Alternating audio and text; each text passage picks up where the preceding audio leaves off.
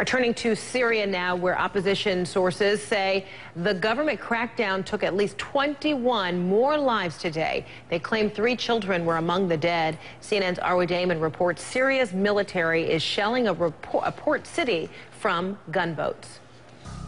The siege of the coastal city of Latakia began on Saturday, and by Sunday morning, it had significantly intensified.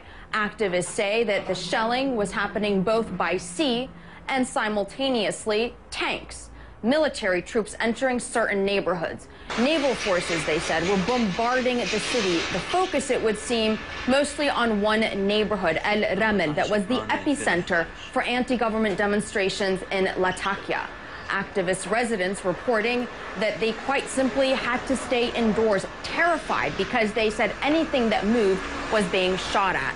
According to the Syrian Observatory for Human Rights, some residents were trying to protect their homes, but they were quite simply helpless in the face of such military might.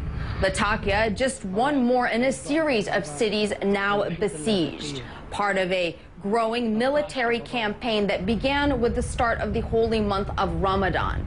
In Hama, in the west, stretching to Deir ez-Zor in the east, Homs, and also Idlib province along the Syria-Turkey border.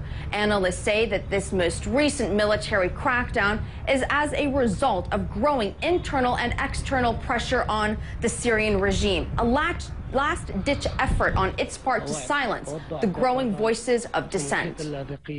The assumption, I think, among many analysts and observers of Syria, and, and when you talk to people in Syria as, well and diplomats around the region, the assumption is that the Syrians feel they have a couple of weeks now um, before the Turks and others are going to really clamp down, and uh, perhaps they're trying to do one big drive to intimidate people and try to stop this uprising. But of course, it's not going to work. It's, it's going to fail.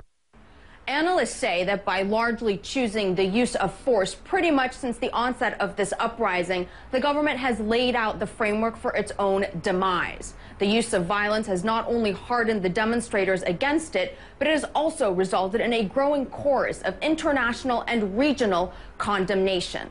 Analysts say that in its desperate bid to stay in power and by using force to try to accomplish that, the government is in effect creating the path the way for its own destruction. Arwa Damon, CNN, Beirut.